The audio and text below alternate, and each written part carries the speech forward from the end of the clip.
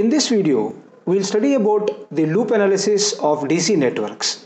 A DC network is an interconnected network. In these networks, we'll have resistors, voltage sources are all connected to form loops. In a DC network, resistor R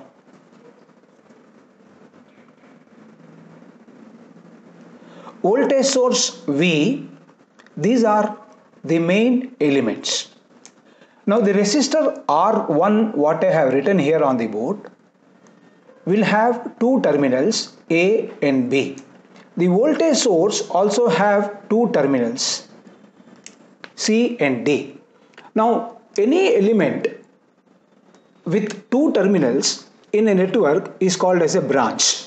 I can interconnect this voltage source and resistor to form a single two terminal element. So therefore this series connection of voltage source and resistor is called a branch. Now in a DC network we can have good number of resistors connected together to form the network. Now for example I complete this network what I have drawn by adding few more resistors and a num one more voltage source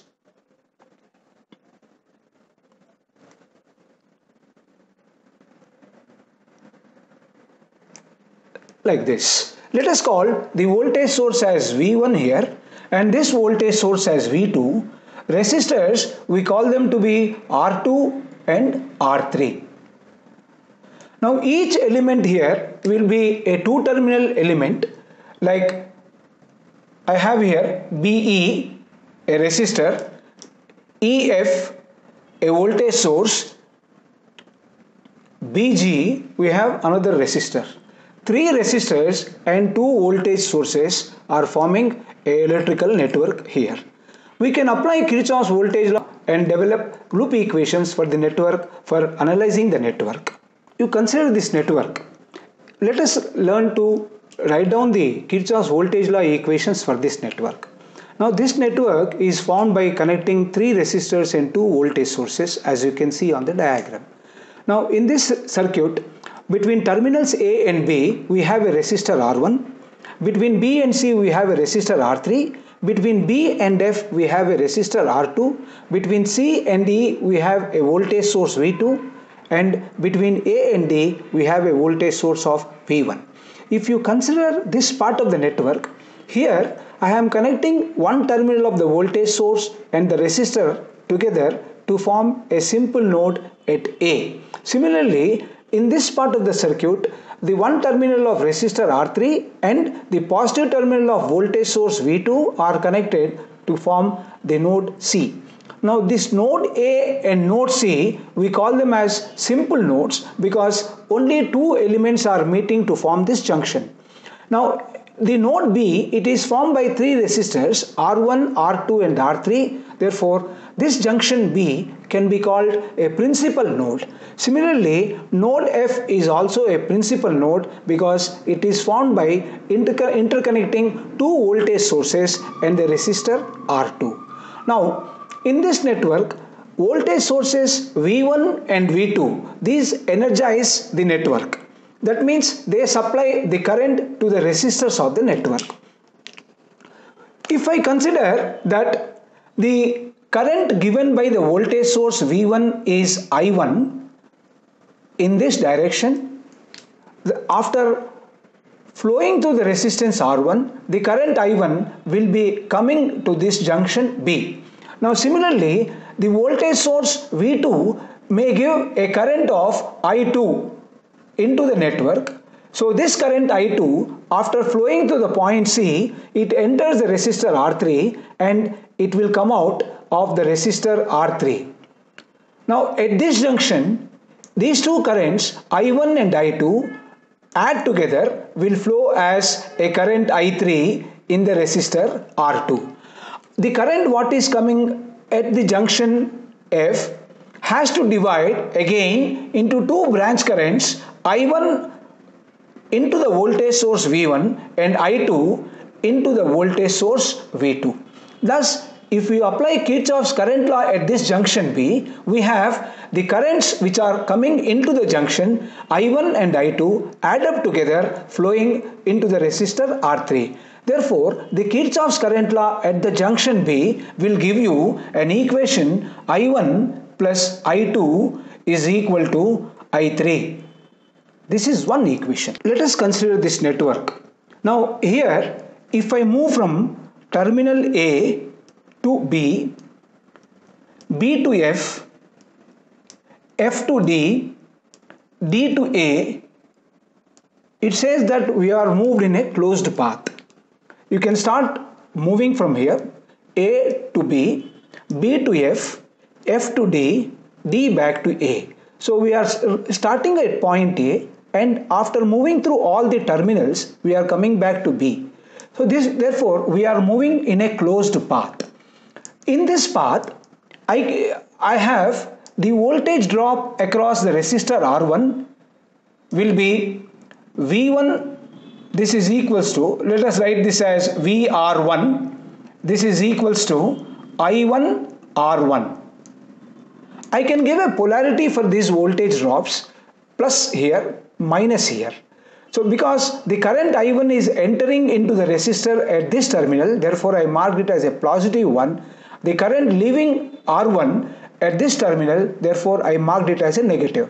So this becomes a potential drop.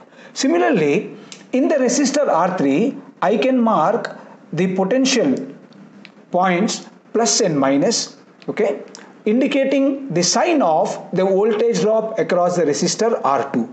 If I write down the loop A, B, F, D, A. For this loop, I can collect all the voltage drops on one side and all the voltage rises on the other side to get a Kirchhoff's voltage law equation. So when I move in this network from A to B, I have a potential drop VR1. Therefore, I can write down VR1 and in the resistor R2 when I move from B to F I have a voltage drop. I can write it as VR2 where VR2 will be equal to product of current I3 and resistance R2 and from the branch F to D I have no resistance. Therefore there won't be any voltage drop. When it comes to voltage source I am moving from point D towards point A I am moving from a lower potential point to a higher potential point. Therefore, this voltage of the source what you have, it becomes a potential rise. I get this as the equation for Kirchhoff's voltage law applicable to this loop ABFDA. In this, if I substitute the values of VR1 and VR2, in terms of current and resistances, I get an equation I1 R1 plus I3 R2 is equals to V1. In the second loop, I can move from B to C, C to E, E to F, F to B, B back to C. Now in this loop we have resistors R2 and R3 energized by the voltage source V2. Now if I give the polarity for the voltage drops across the resistors when I am moving from B to C for the given current I2 which is flowing from C towards B C will be higher potential point and B will be a lower potential point. Now the polarity of the voltage drop in resistor R2 remains same as the marked here. Now if I move from B to C through the resistor R3, I am moving against the current direction because the current is flowing from C to B, my movement is from B towards C. Therefore, in the resistor R3, I had I am moving from low, negative terminal towards the positive terminal or I am moving from a lower potential point to higher potential point therefore this becomes a potential rise. Now if I apply Kirchhoff's voltage law for this second loop this being a potential rise I can write that as I2 R3 this is a potential rise and between C and D I have a voltage drop as I am moving from higher potential to lower potential point. Therefore by putting an equal to sign here I can write down the potential drop V2 so one side I am writing the drops on the other side I am writing the rises. Between E and F I have no voltage drop. Coming to point F towards B I am moving through a resistance R2 or I can say I am moving from a lower potential point to a higher potential point. Therefore this will give you a voltage rise. So therefore we have that voltage rise can be written as I3 multiplied by R2 this is what we have the voltage equation for the second loop.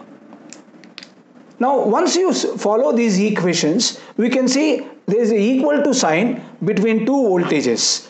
Now in the first loop V1 is becoming a potential rise I1 R1 and I3 R2 these are the drops whereas in the second equation I have as per the movement V2 is a potential drop I2 R3 and I3 R2 these are the potential rises now the unknowns are I1, I2 and I3. There are three unknowns here but we have only two equations. So to solve the three unknowns we need one more equation. That equation can be obtained by applying Kirchhoff's current law at this junction B. As per the current law we have this equation I1 plus I2 is equal to I3. So in the equation for 1 and 2 what we have the Kirchhoff's voltage law equation. I am using Kirchhoff's current law equation also to solve the network. Solving the network means finding out the currents I1, I2 and I3.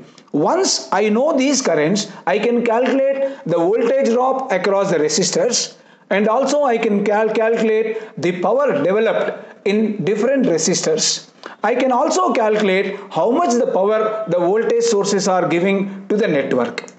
This is what you have the Kirchhoff's voltage law and applying Kirchhoff's voltage law developing the mathematical equations in terms of the currents I1, I2 and I3.